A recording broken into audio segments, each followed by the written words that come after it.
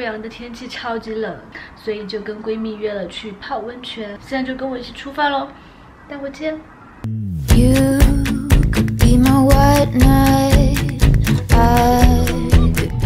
然后我们今天要去的温泉是乐湾国际温泉酒店。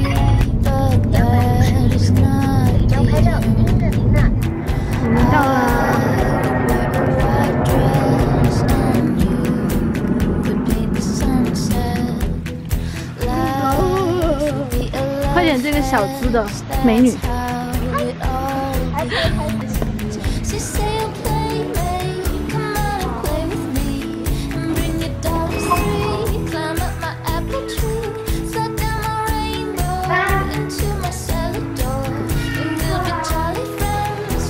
准备了两张面膜，一会儿进去可以泡，还有一张颜。这家温泉的感觉颜值很高。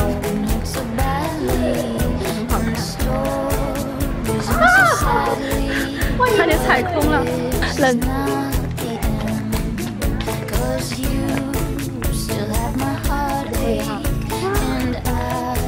一会儿来吃这个温泉蛋，对啊，我跟你说这温泉蛋，你相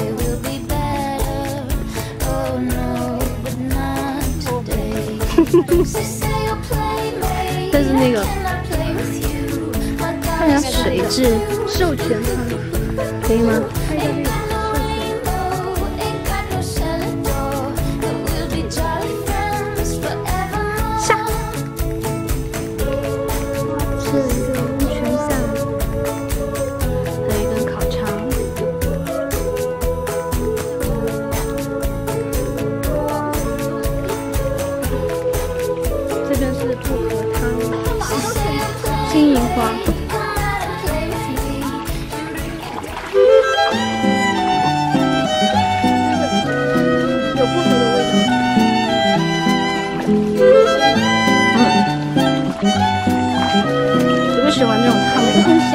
这边这个汤很烫很烫，然后我就喜欢这种汤的。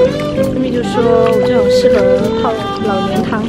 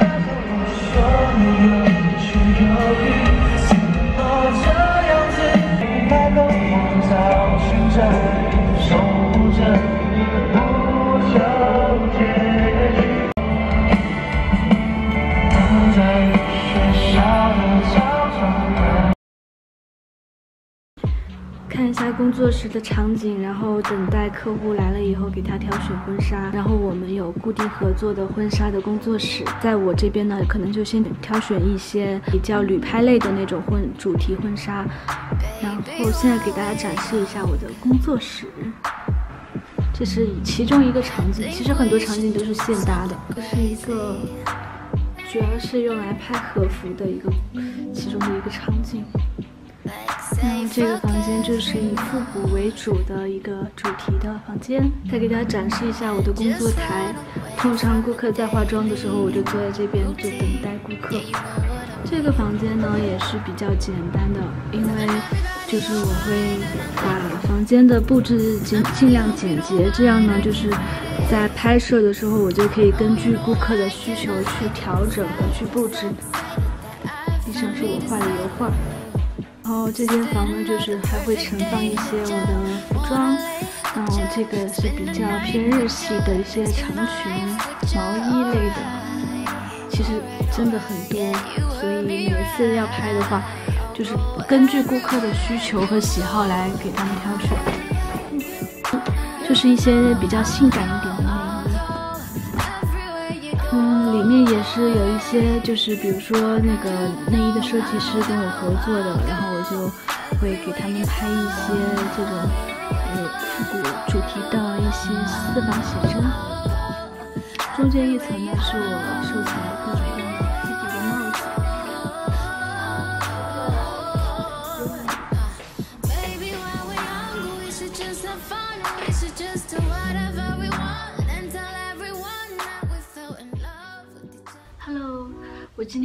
的工作室，因为待会有一个小仙女说要来采访我。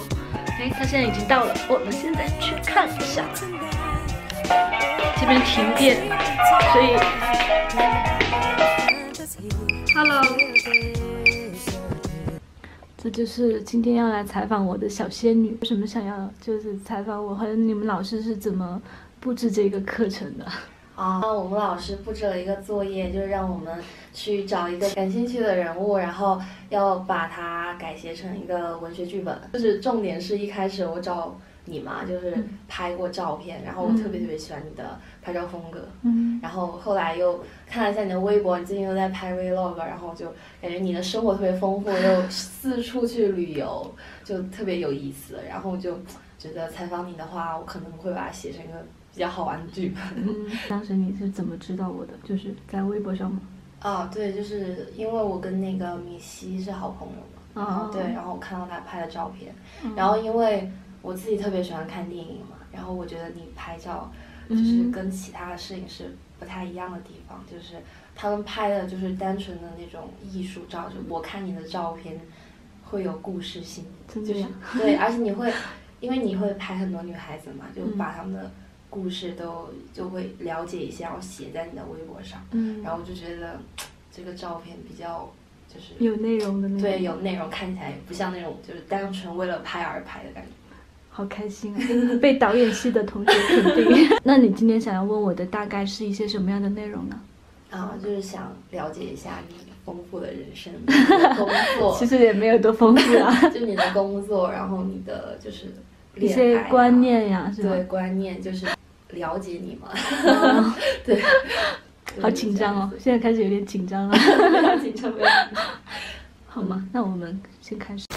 Hello，现在有点下雨，我刚刚从工作室出来，然后就刚刚就跟他聊了大概有一个半小时吧。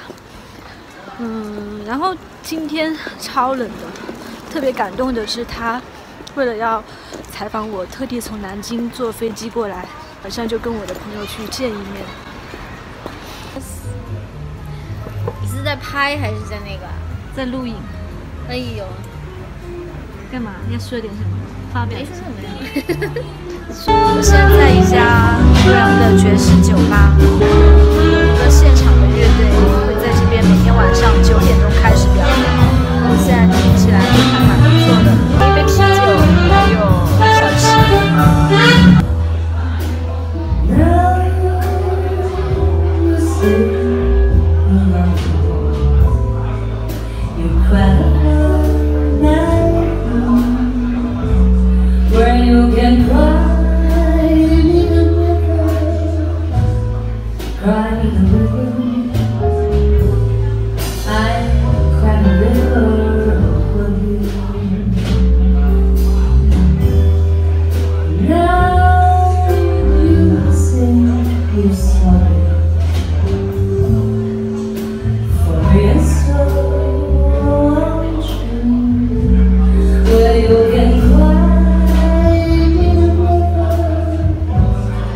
Crying with you. I'm ready.